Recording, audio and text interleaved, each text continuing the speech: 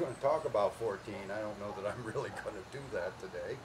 Um, 14 is step back block.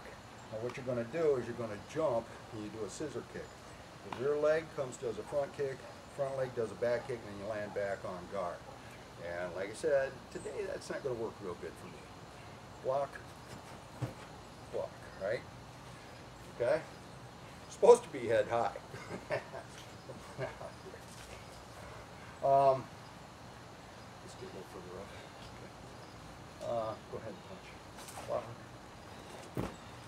And that's 14.